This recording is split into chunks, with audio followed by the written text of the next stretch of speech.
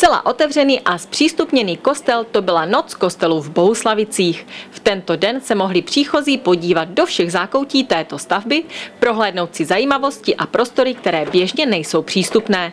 Otevřená je zakristie, kde mohou zhlédnout ornáty historické, pak liturgické knihy.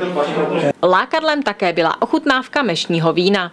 Mohou si ochutnat mešní víno, v kostele potom si mohou prohlédnout fresky Matyáše Raslera, zajít na kůr, kde mohou si prohlédnout varhany a samozřejmě na věž, kde mohou se podívat na celou obec Bohuslavice z celé výšky věže.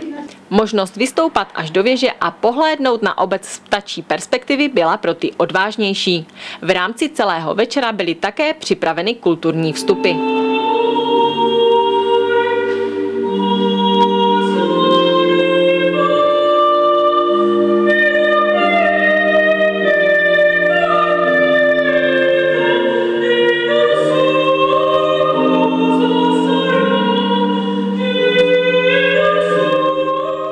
Jsme rádi, že je zájem o prohlídku našeho kostela. V letošním roce oslavujeme 100 let založení farnosti Bohuslavice, tak právě proto si myslíme, že je dobré, když je u této příležitosti kostel otevírán a zájemci se mohou prohlédnout náš pěkný kostel. Z Bohuslavic Lenka Racko.